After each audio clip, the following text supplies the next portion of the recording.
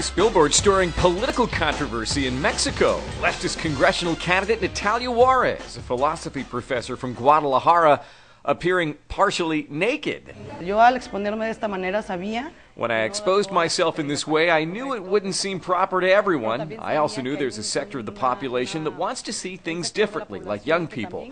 I think young people, especially those voting for the first time, are the ones who will be most interested in our ideas and who have given me the greatest support, she said. On the other hand, there is the more conservative sector here. Everyone knows that Guadalajara and Jalisco are conservative places. There have been negative reactions to my campaigning, strong words, hard expressions, even offensive ones, she said.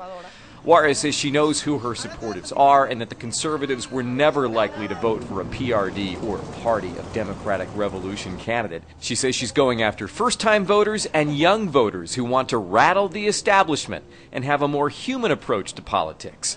Mexico's elections take place July 1st. In addition to choosing a new president, Mexicans will also vote for 128 senators and 500 congressional representatives.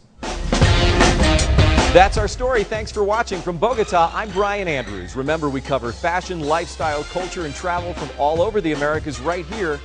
Take a moment to become a fan of our Facebook page, Brian Andrews NTN 24. And if you're on Twitter, so am I. Follow me at Brian Andrews.